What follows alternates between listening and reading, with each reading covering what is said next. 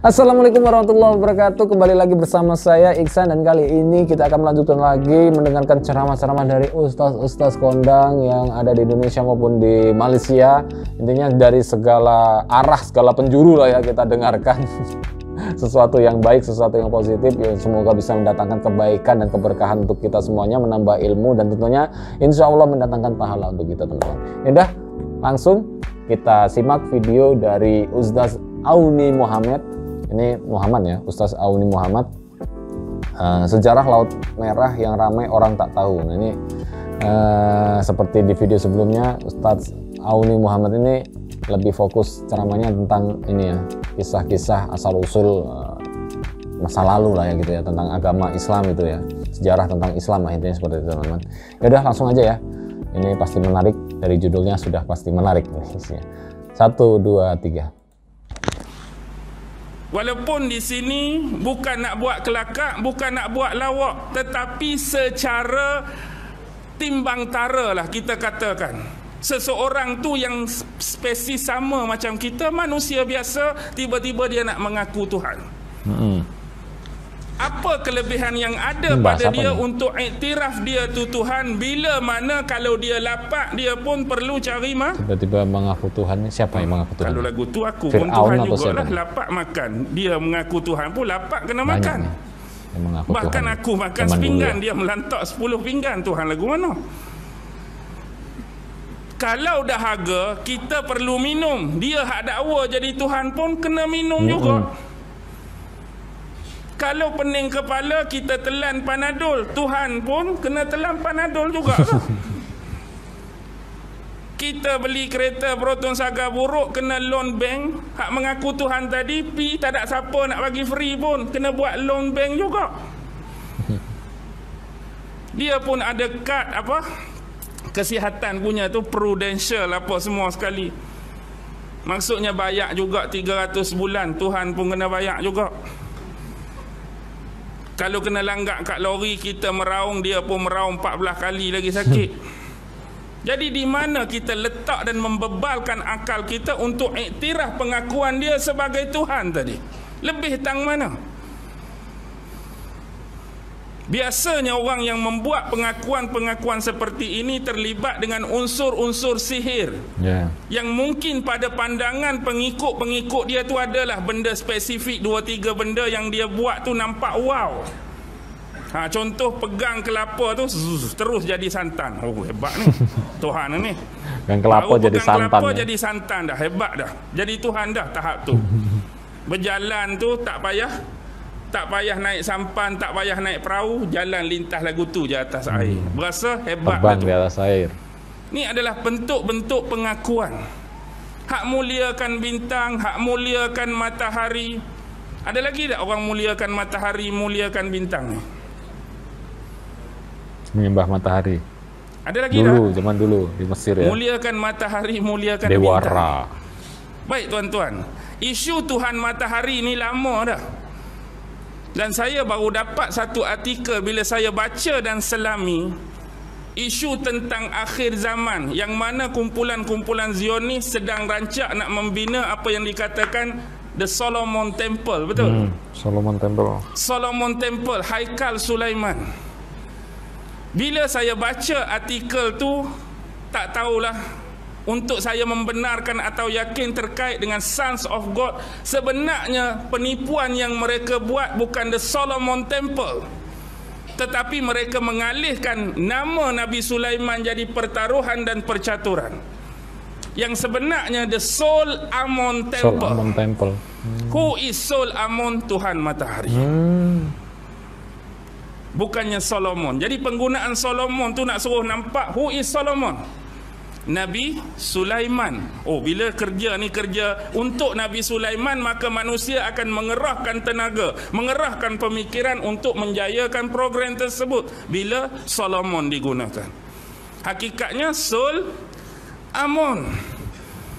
Bagaimana bertahun-tahun lamanya nama Nabi Allah Sulaiman terfitnah? Ya. Yeah akibat permainan iblis yang menyerupai Nabi Allah Sulaiman menuliskan buku-buku sihir yang ditinggalkan di bawah sehingga sana Nabi hmm, Allah benar, Sulaiman. Saya pernah dengar ceramah ini. Bila Kisah Nabi ini, Allah kisah Nabi Sulaiman Sulaiman. wafat, maka iblis menyamar manusia biasa. Wahai manusia, hari ini sebenarnya baru kita tahu siapa Nabi Allah Sulaiman yang sebenar. Dia dapat dapat mengawal angin, dia dapat bercakap dengan binatang bukan kerana dia nabi. Bukan kerana dia ada mukjizat, tapi kerana dia mengamalkan sihir-sihir tertentu. Apa bukti kamu? Lalu sebab dia yang tulis kitab sihir dia yang simpan di bawah singgasana aku akan tunjukkan bukti dia pilah bawah tempat hmm. tu. Mari kita bongkar. Bongkar-bongkar jumpalah buku-buku sihir. Yang dikarang oleh dia sendiri, dia tuduh atas nama Nabi Allah Sulaiman. Sebab itulah dalam salah silah dan nasab sesetengah occult dan black wish daripada guru dia, guru dia, guru-guru dia sampai sekali ketua kepada segala penyihir jatuh nama siapa tuan-tuan? Solomon. Seolah-olah Nabi Allah Sulaiman tu penyihir atas segala penyihir. Berapa lama Nabi Allah Sulaiman terfitnah dengan permainan ini? Ini berlaku dalam dunia hitam, dunia gelap. Al-Quran datang membongkar kisah ini tuan-tuan. Tu tak kira lagi zaman selepas Nabi Allah Ibrahim alaihi salam. Anak saudara Nabi Allah Ibrahim siapa? Siapa anak saudara Nabi Allah Ibrahim? Lut. Ya. Bila sampai di Kanaan, Palestin dahulu, Palestin kuno, mereka berpisah.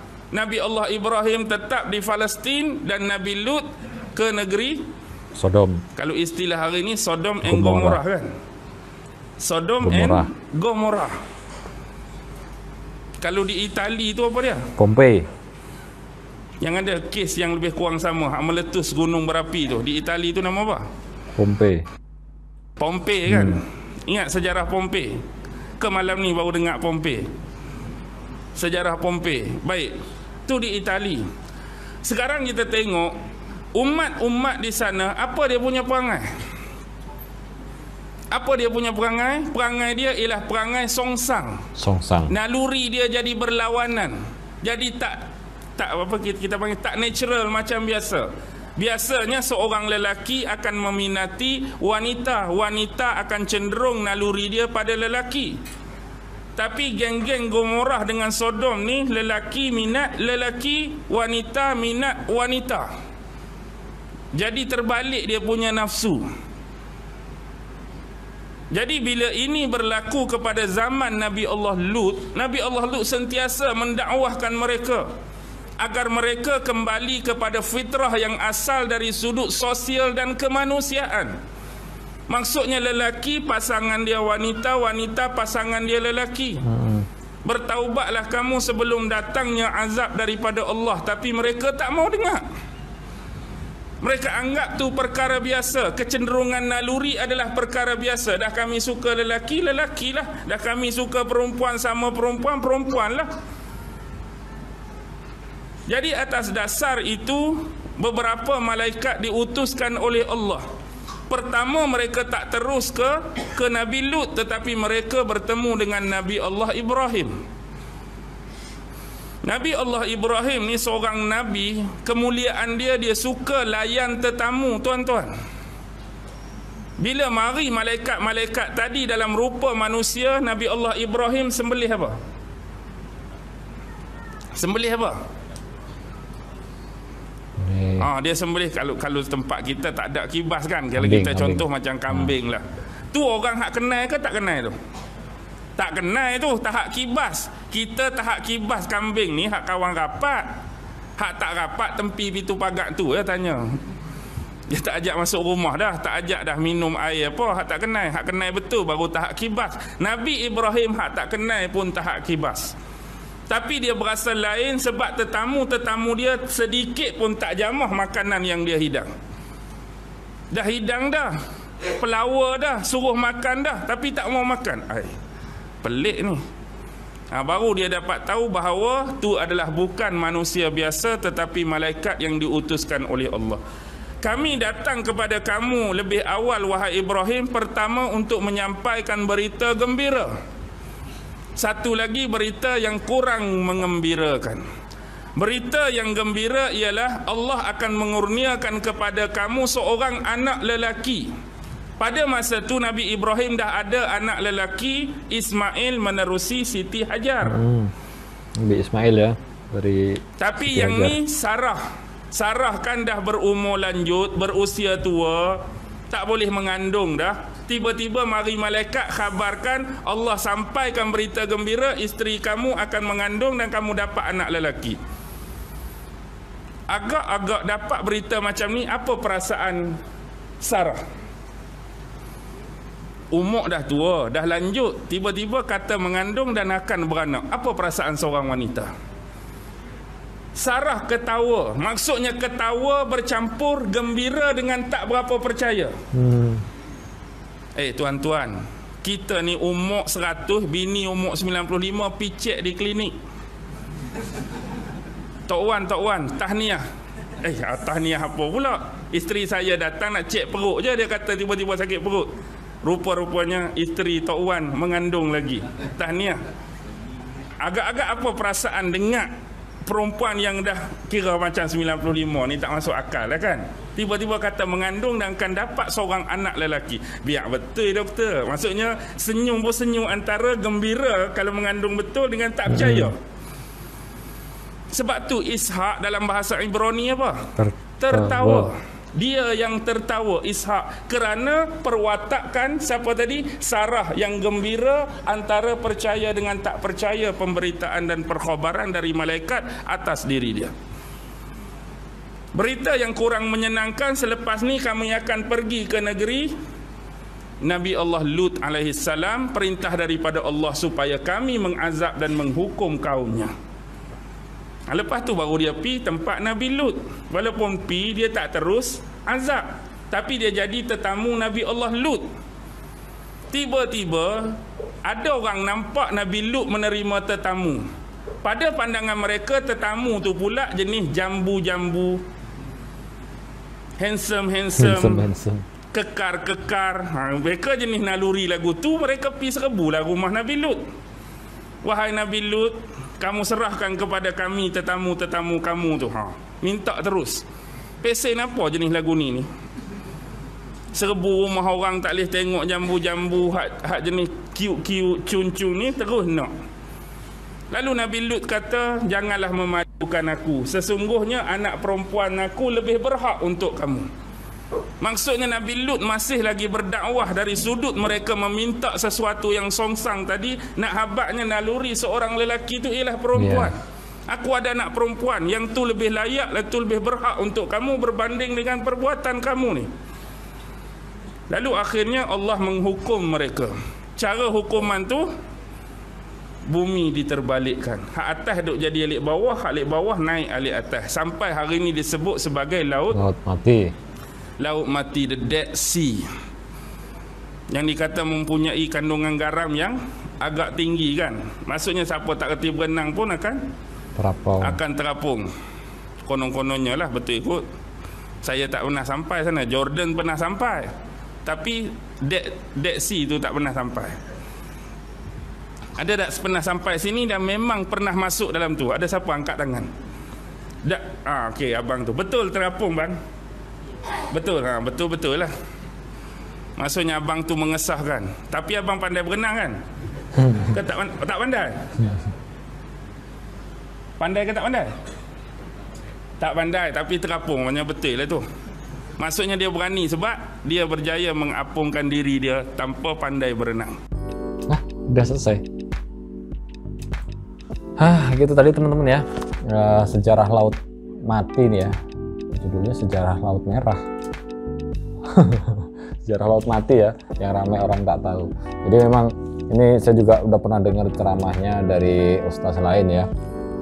Jadi intinya memang eh, dari laut mati sendiri itu eh, yaitu tadi dari kaum Nabi Lut yang diazab Allah gitu kan Eh, tanahnya dibalik dan itu yang membalik kalau menurut beberapa ceramah atau beberapa eh, yang ahli sejarah gitu ya itu malaikat Jibril katanya gitu jadi tamu yang datang tuh katanya tiga jadi malaikat Jibril Mikail sama ada yang bilang malaikat maut atau bilang ada yang bilang juga malaikat uh, Israel ya. Eh Israfil eh, apa ya Israfil ya Israel apa Israfil gitu teman-teman. Ini nih tiga malaikat itu yang datang dan ketika udah waktunya di azab itu tadi ke eh, kaumnya Nabi Lut itu eh, tanah diangkat sama ma eh, malaikat Jibril. Intinya sama ketiga malaikat itu diangkat ke udara begitu kan. Terus dihujani meteor begitu. Terus katanya terus tanahnya dibalikkan ke bumi. Jadi seperti meteor yang jatuh itu jadi langsung menimbulkan cekungan. Terus akhirnya jadilah laut mati itu teman-teman ya.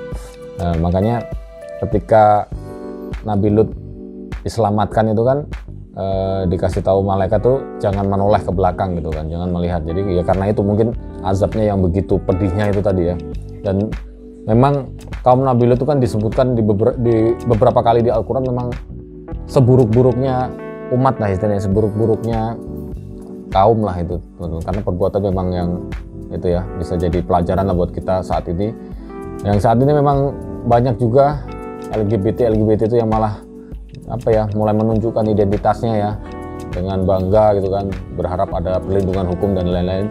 Padahal ya kalau kita belajar dari masa lalu dari kisah-kisah uh, nabi kisah-kisah umat-umat terdahulu yang diazab Allah itu itu apa ya ya janganlah gitu loh. Jangan ada lah kayak gitu gitu kan.